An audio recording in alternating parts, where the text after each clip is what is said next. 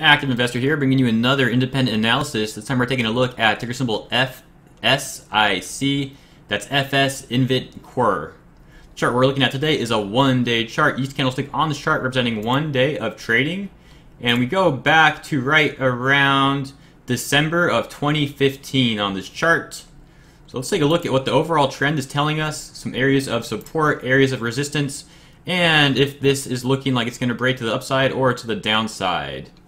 So we have some main areas to take a look at.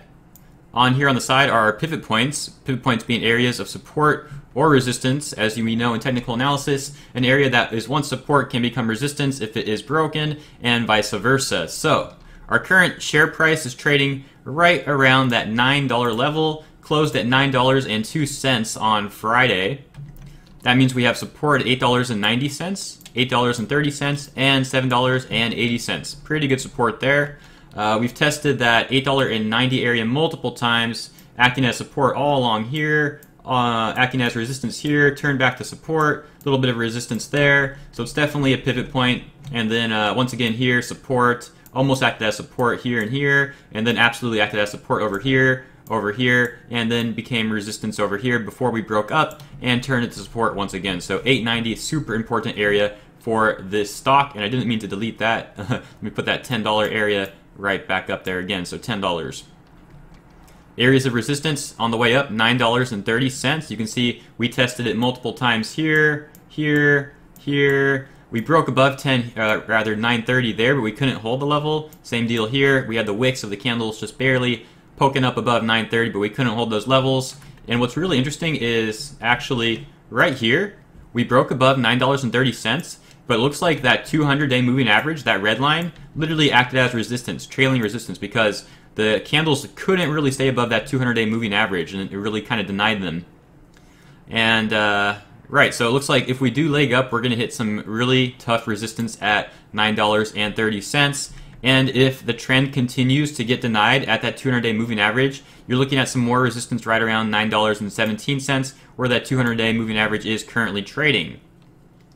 Now, trailing support, that 100-day moving average, that orange line, is looking like it is some trailing support. You can see it acted as support here, here, here, and once again here.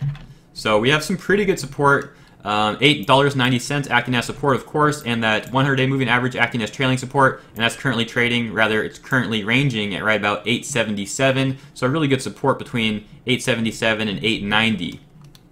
However, if we do break to the downside and we break 890, and we do break that support on that 100-day moving average, you're looking at a falling off all the way to about $8.30 before we find some more support. So just keep that in mind. Now, let's take a look at our indicator down here at the bottom. That's our MACD indicator. The MACD is actually looking pretty good to me. Um, it's not quite entirely bullish yet. We want to see the MACD averages above that zero line. The zero line, of course, being that white line right here. Um, and it just started legging up above the zero line. But what's really nice looking is, if you can see, it's kind of hard to notice, but we have a light blue histogram on the MACD, which indicates that the divergence is becoming more and more bullish. So if this stock can continue rising in price, the MACD is going to look really good, and that's just going to mean that this trend is getting stronger and stronger. Now let me just take a look at uh, the original person who requested this analysis. Uh, just give me one moment, please. I think that was, yes, Devario on Reddit. Devario, I'm not sure what your cost basis is. I know you said that you were trying to get out of the stock. So I'm really not sure what your cost basis is, so I can't really tell you what I would do in your situation. But uh, I'm just going to tell you that if I was in the stock at its current share price at $9.02, I would definitely give it a little leeway if $8.90 breaks. Um, I would probably have a stop loss somewhere around that 200 day, rather that 100 day moving average, so maybe around $8.90 to $8.70. But once again, I'm not sure what your cost basis is. So, you know, if you got in around $8, $7, then you're still in pretty good shape and you have some good support before you break even. But if you bought in at around 10 or 9 or, or even more, um, I, I would say I would probably hold on to it for now. But if 890 breaks and if 870 breaks, I probably would be looking to exit as a reversal wouldn't happen until about 8.30. And obviously if we hit, hit $8.30, then we're just going to have even more resistance, resistance on the way up. We don't ever want to see that 200-day moving average above our candles especially on the, the daily chart or you know the four hour, two hour, the longer time frames.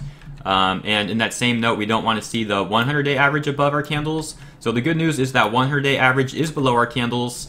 And uh, the rest of the averages are kind of converging, so we could see a little bit of volatility. And judging by the MACD, like I said, if this trend does continue up, the volatility will probably be to the upside, and we probably will test that $9.30 level. But just keep in mind that we have resistance on the 50-day and the 200-day moving average on the way up there. That resistance is not ever as hard as a solid pivot point, but it is little areas of resistance, so keep that in mind. Not really much else I can add on this stock. I hope this analysis helped you out a bit. Like I said, without knowing your cost basis, I can only really say so much. But that's really uh, that's really what this trend is looking like right now. You know, we had some consolidation and channeling between 890 and 930 for a while. We almost broke it to the downside, but bounced right off that 100-day moving average and broke that 890 resistance, turning it to support once again. So I would give the stock a little bit of time, give it a little more chance. But yeah, if 890 breaks and 877 breaks, you know, we break below that 100-day uh, moving average, things are not going to be looking so good at all. Because that'll also mean our MACD is going to go below that zero line, and we don't want to see that happen. So hope this analysis helped you out. Anyone else watching, I hope you enjoyed this, and I will catch you in the next video. Have a good one.